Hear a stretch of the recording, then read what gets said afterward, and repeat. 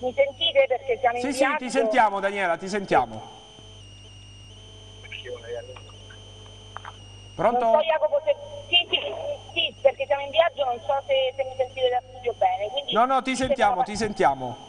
Dicevo una, una vittoria importante anche perché insomma ci si aspettava anche un segnale, avete subito sicuramente le, le nostre vicissitudini anche per il cambio sulla panchina il ritorno di Carlo Terrone che evidentemente ha fatto bene alla squadra, un'Aquila che ha giocato con un, con un grande cuore, una partita di grande cuore, di grande sacrificio, quindi eh, bene così, ora ci sono queste due settimane di lavoro intense per, eh, per prepararsi al meglio e per eh, cercare di prendersi questa salvezza.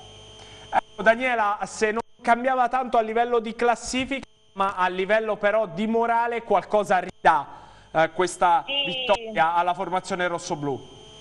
Sì, io sottolineavo proprio l'aspetto psicologico perché alla fine il tecnico Perrone insomma, ha lavorato sugli stessi uomini, a livello tecnico-tattico non, non si poteva cambiare, non si poteva chiedere nulla eh, alla squadra, invece era importantissimo l'aspetto mentale, il credere nei propri mezzi, quindi sicuramente oggi c'è stata una risposta importante anche sotto questo punto di vista, come dicevi. te.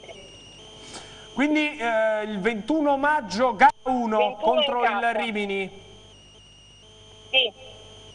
Va bene, grazie Daniela. va bene Jacopo, grazie a voi. Buon viaggio di ritorno ovviamente a Daniela Rosone grazie.